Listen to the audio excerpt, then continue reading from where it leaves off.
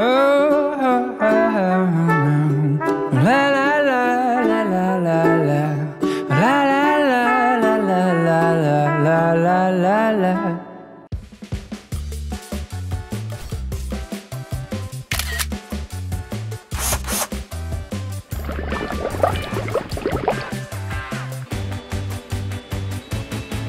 大家好，我是米花。今天想要来跟你们分享我去年一整年收藏的 vintage 的包包。这一集应该是一个收藏战利品的一集，因为他们应该都不一定可以买到。我很喜欢收藏 vintage 包包或是老的包包的原因，就是因为它经历过了这么久的时间，终于移转到你的手上。它比起去专柜买新的包包带给我的故事感跟回忆感会更强烈。如果你给我新的包包，很可能我背一两个月我就不想要。但是如果我收藏的是一个老箱或是一个 vintage，不管任何品牌是我想要的带有故事感跟氛围感的包包的话，我会想要把它当成传家宝，收藏很久很久。所以今天开下的这些都是我去年收藏的，我都非常喜欢，它也都不是热门的包款，很想跟大家分享，因为我终于收藏到了够拍影片的一个数量。大家应该发现我真的越来越少买新的包包了，就是因为我整个很沉迷于买二手包的市场，真的有蛮多女生读者会来问我在哪里买，你可以私讯我，我会告诉你我在哪边买，因为我真的很害怕以后竞争者会变多，因为这几间卖家都是我真的买过，然后包款很不错，卖家人也很好，目前我买到的都还是正货，价格也算相对的很合理，所以如果你真的非常非常想买的话，你私信我，如果你在底下留言我，我不会回答。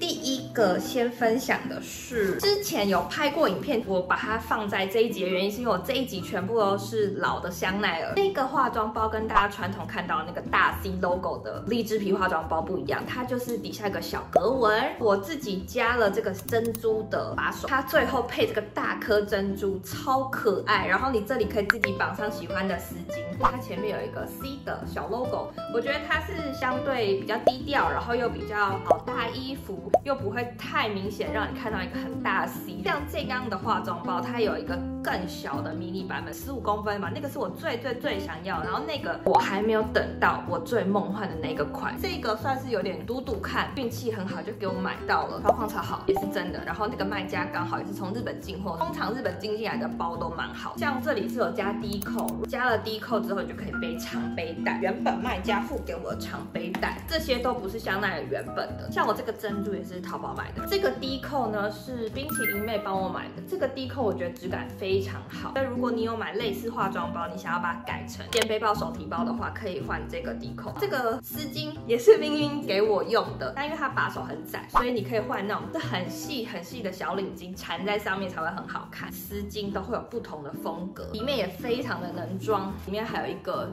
小的开口，真的就是化妆包一样子，只是有一个比较麻烦的地方，因为它原本就是化妆箱，是大家后来把它改造成肩背手提。我如果在外面买东西的时候，它就会这样一直开比如说我要拿钱包，我就是整个包包会往下掉，就没有那么的方便。可是它非常的能装，而且很多人来说，我觉得它很适合。不然其他整体我觉得都超棒，我就真的很喜欢它。然后大小也很适中，也不会到太大。然后也不是那种娇小的女生拿了会觉得哦，好像真的拿一个大箱子的感觉。所以如果你有在找化妆包，又不想要这么明显的那种化妆箱的话，你就可以试试看找这个造型的。接下来嘞，我第一个买的 vintage，这个时候会买这个是雅阁推荐我一个 Facebook 的卖家，然后这个卖家一直到现在他都很有品味，包包都很特别，它都不是那种热门包，都是比较偏冷门。有时候的包包你会一看就想说，呃，怎么长那么奇怪？但看看久就觉得很耐看。我已经把它设为抢先看，加上发现它每天八九点都会发文之后，我就每天都要爬起来看。它不是很热门香奈儿包，可是我一看到我就很喜欢，因为它是大概一九九零或一九九一年代的。这里有一个流苏，因为后期的都会是一个小鸟的字，真皮的流苏，然后这里有雕花，雕花五金到现在还是非常的精，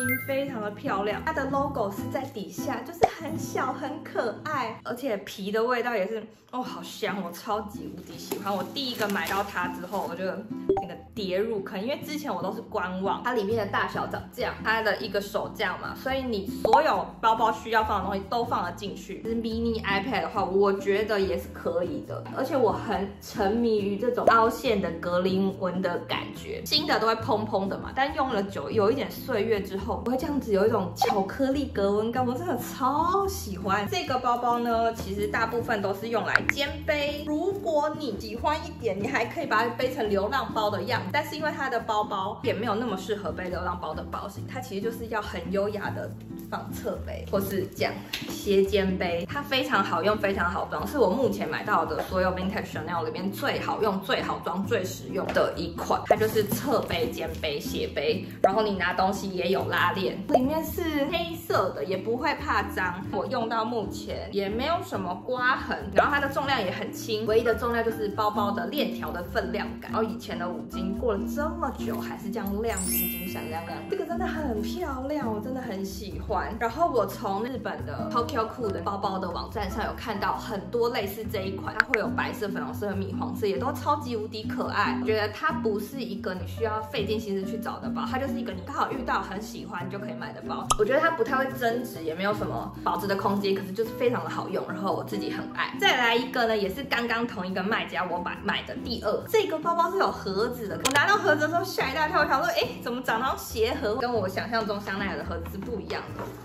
所以如果有人知道的话，可以跟我说。这个我真的超级无敌喜欢，可是我有点不知道什么时候该拿。我想象中它应该会是秋天、冬天，在欧洲或者去日本，在街上穿着大衣、干冷的天气，可以这样手拿着它，超时髦。这个是卖家附给的背带，大家应该都会觉得没有背带用手拿很麻烦，所以这个卖家就自己附了一个戴帽感觉的背带。到毕竟这个戴帽就是塑胶，这样拿起来的时候真的是。就像玩具，或者是因为照它这个大小，在身上就太大，它就是适合这样子手拿着。这样子的空间呢，基本上女生所有放在包包里备品都已经放得下。它这个手拿包的巧克力感觉超级漂亮，包放也非常的好，就很油润，然后几乎边角完全没有磨损。你看，我上上礼拜才才发现，因为雅阁也很喜欢收藏老乡的包包，然后他就背了一个比它再更小一点的 size，然后他把它当成侧背小包用，好好看哦。然后卖家我说他这个包包。好像是钉反了，就那个时候有很多的香奈儿的 logo 是反着的，香奈儿的 logo，所以我会觉得哎，好可爱哦，这是我的一个收藏。台湾最近又一直下雨，冬天要么就超爆冷，要么就突然热到不行。这个包包就是一直都没有拿出来，可是我非常喜欢，我真的好期待哪天去日本或韩国的时候，可以把它拿出来用，在那种干冷的秋天。它就是应该在那个地方出现的包包。倒数第二个是一个小到一个不行的小费包，也是我难得一个亮色系的包包。而这个包包是好好送我的，然后是雅阁在奇摩拍卖上看到的。如果你要在奇摩拍卖或虾皮拍卖上买包包，其实你都要认真看评价。奇摩拍卖的卖家又会是比较好一点。有一个 C 在这边，目前我买了它之后，除了装信用卡还有口罩以外，找不到它还可以装什么。原本应该。只有这一个包包，可是它配的这个皮链子的质感非常好。我目前收到就是卖家付质感最好，然后颜色最搭的。看它就是这种鱼子酱的皮革，背在身上的时候非常的可爱，然后就很抢眼，当身上的一个小项链、一个小配件的感觉。我就觉得哦，这个好值得收藏，真的好可爱。我记得它有桃红色啊，或者是黑色、白色，也都蛮 Q 的。那如果你真的很想买的话，其实亮色系会比。黑白色系更抢眼，这个也是蛮难找到的包包，所以也是我的珍藏之一。最后一个嘞，就是这个我近期的爱包，然后这个是好好送给我的生日礼物，也是目前的包包里面比较贵的一个。这个呢是跟一个 IG 的卖家买的，然后这个 IG 卖家他在新装可以面交，所以你是可以检查包框的，他都是从日本进包包，它不收台湾的二手包，所以我觉得算是相对品质比较稳定的。它跟一般的方胖比，它真的是特别的可爱。它就是很复古，然后一看到就会写我的名字的比较特别的包。我喜欢老的方胖，我也喜欢这样子的感觉。柜上买到的那种，就是女生最想要的那个，不是我喜欢的样，经典老的那种五金很金很亮那个感觉，是我喜欢的那个氛围感。所以它其实不是 vintage，它应该是近近几年的包款，可是它却是这种。很特别的缝线，外面还有一圈这个滚边。它这个系列那时候还有一个熊猫的，你说那两个都很可爱，可是那两个更难找，所以我那时候一看到全黑的时候，卖家要说他也完全没看过全黑，我说好好，还有冰冰，然后我的朋友们都说对这个包包一眼就写了你的名字，我就说好，那我想要买它，但因为好好也不知道送我什么生日礼物，他就认领了它，就谢谢好好。这个呢，它很能装，方胖真的很厉害。然后就是一个钱包，我会带一个，我之前去望的精油，带清的钙的植原油，银离子喷雾都要吃，我气清新的喷雾，薄荷凉凉棒。香奈儿唇膏哦，我跟你说这个真的厉害。我妹妹之前在香奈儿的化妆品柜工作，所以精品的彩妆的话，可以加入我的购物社团，它有很多门路跟管道，直接去拿到百货公司周年庆跟折扣的原购。那因为这些是不能公开的，所以你们可以加入社团，然后他有消息的时候就告诉大家。因为这一支呢，其实是我那时候看到旅行 YJ，他就发在 IG 上说他这一支超好擦。过年的时候就问我妹说，哎，我好想买这一支，他就马上从他包包拿出来说，你说的这一个吗？我就马上搜刮这一支超。级无敌润，不会有你在擦那种唇膏的干裂感，然后非常的滋润，颜色也超级无敌美。你有兴趣的话，你可以去试试看，或是买买看。所以我就会意外的，就是今天一整集刚好都是香奈儿，因为我的手机不是换成 iPhone mini 吗？mini 放在这里面完全刚刚好，然后我每次出门都还是会带一个环保袋，这个是 Lucy 做的，我真的是每一个包包都可以塞进一个它的这个折叠环保袋，这个袋子真的是无敌好装，它可以放下所有你去便利商店买的东西，就算你买拿一个这么小包包，还是非常好用的，因为它是这种双链设计嘛，所以你可以背成侧背、斜肩背，然后你也可以把它背成这种侧肩背优雅的样子，我觉得这个包型是特别适合这个侧肩背，再绕短一点。例如说，往内这样绕一圈，然后另一边往内再绕一圈，它就可以变成一个这样子的包包。你也可以这样把它多绕几圈之后，变成超级无敌小的这个样子。反正呢，就是双链条的方胖是有很多不同背法。以上呢这几款呢，就是我